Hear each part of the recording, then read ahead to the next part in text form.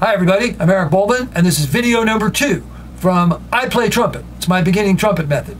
Today we're going to talk about some of the exercises that begin in lesson three and continue throughout the book.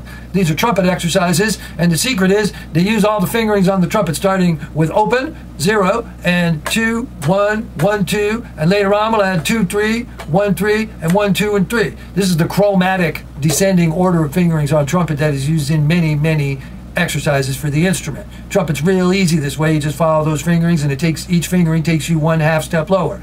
So follow the titles on the screen. That'll tell you what exercise I'm playing. Get your book out. You can pause the video anytime you want to play something and good luck.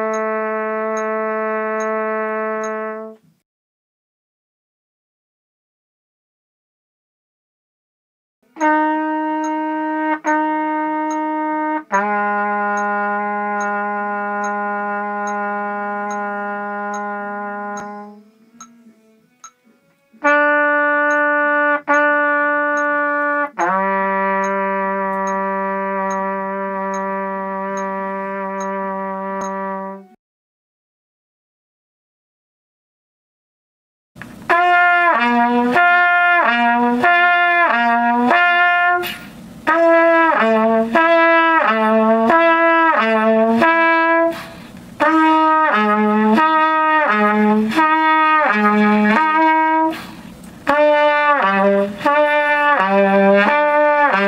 you.